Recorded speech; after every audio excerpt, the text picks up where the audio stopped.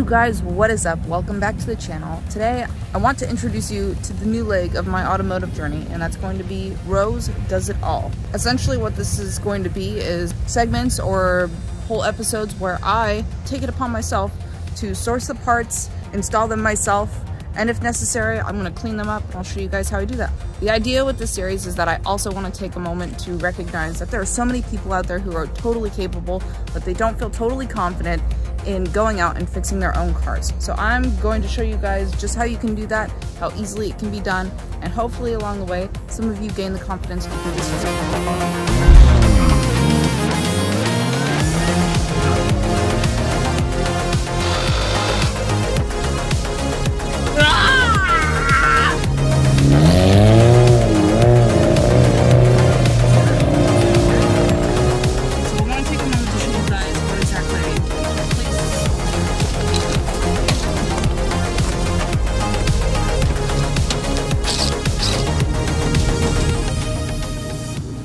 Okay, so I want to take a moment to show you guys what exactly I intend to replace on the interior of the car. I want to replace the center console, the boot. If I find one in better condition, I'm going to replace that. I'll boost the ego of the interior of the car. And as you can see, this has claw marks. So I think that's really all I have planned for the interior for now. I also want to replace the windshield wiper fluid. Um, I don't think I can show you guys that without taking the bumper off, so I'm not ready to do that. But it is cracked. It doesn't hold fluid. And as far as I know, okay, so I can hear that the motor on the windshield wiper fluid does work, so I won't need that, hopefully.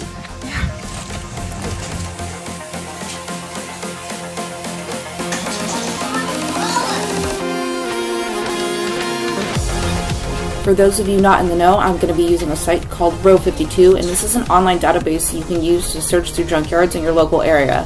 So I searched the make and model of the Subaru I was looking for and found something I thought would have the right colored interior. And then we were off to the junkyard.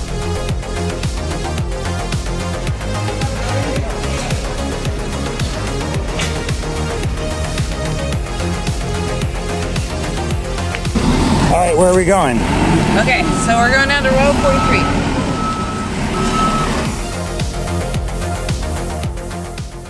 It was all up to guesstimation. Will the Subaru have the right color interior we need?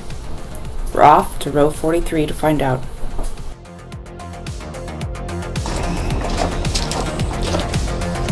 Somebody really opened this hood. Interior is the fucking same. Haha! There, there's a console in there. I don't know. Exactly the same though. Oh, because it doesn't have the the hovering thing and all the other stuff that ours does. Yeah, which I mean, like, does that make a difference? It kind of does. Yeah, I, Okay. I think it think it might. Uh, unless we can just replace the lid, That's all I want to do. I mean, yeah, like, what are they gonna charge me for this part? Like, it won't be that bad. bucks? You know, that looks pretty good. The e-brake handle. Oh, like, I like that this isn't all torn. What are you looking for in there? Screwdriver.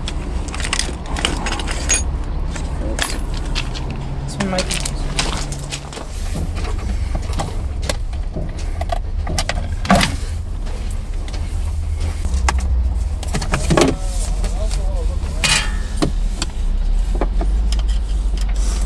Maybe we can take the upholstery off of it. Yeah, I think this is a little wider, but it's the same color though, so like it's worth Worth trying, right? we're trying because like I mean we might hit the fucking nail on the head with that, and it was that easy, guys. So another thing I also need for my car is one of these windshield wiper fluid tanks. Mine has a crack in it, and so it doesn't hold any of the wiper fluid, unfortunately. But it looks like there's one here, and so I'm also going to be picking this part up.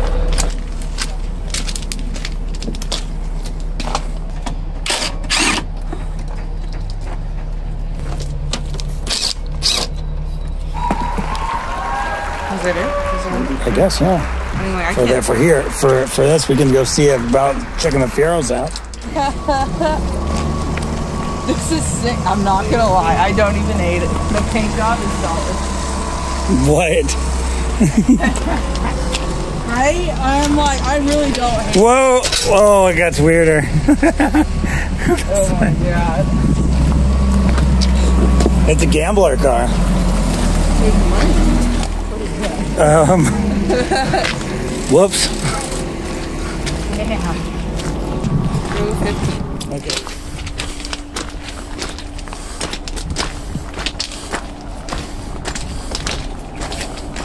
Oh, you poor thing. I don't even see the other one. Well, it's a very rare Fiero. Only one of 1,500 ever built, 1,550 specifically. Really shouldn't be here, but you know.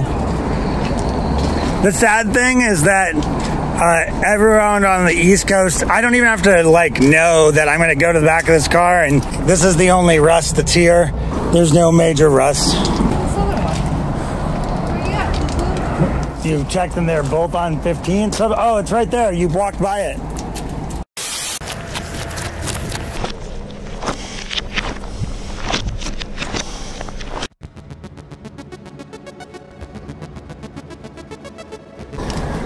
It was unassuming and black.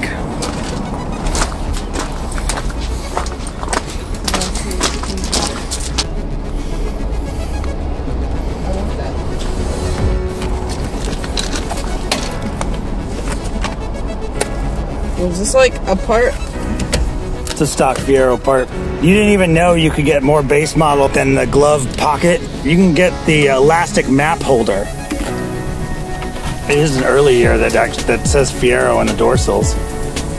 Requires a flat blade screwdriver. It's not really that difficult to get out. If it's a part people want, it's worth getting to another Fiero, right? I feel like that's part of our duty.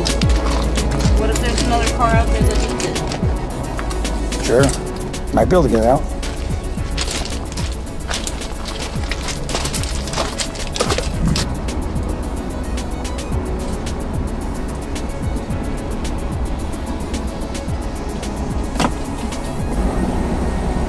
Did a bunch of shit come out and hit you in the face? Yeah. Oh. There's a little dirt all over your face. Little specks of dirt. Oh, I look like I got natural mechanic freckles. Nice. After our adventure to the junkyard, we are off to our home again so I could start cleaning these parts and installing them in the car myself.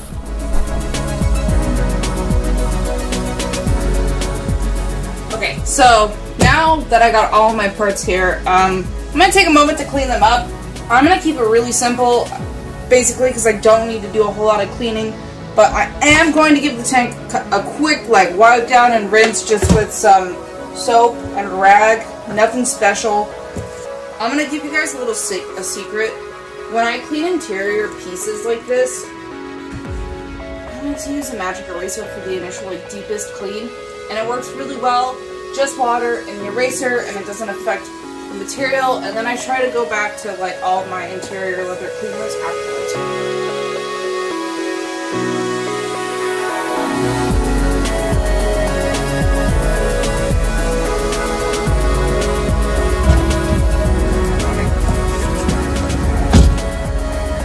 Here's the moment of truth.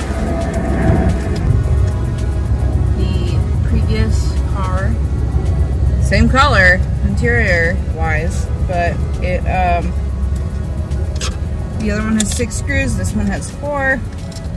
And there may be a reason for that. This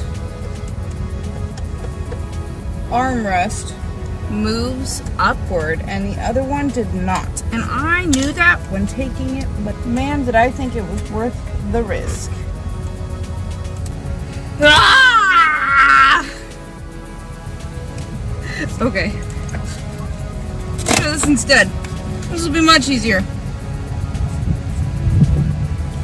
Wipe it down, get any dust and stuff.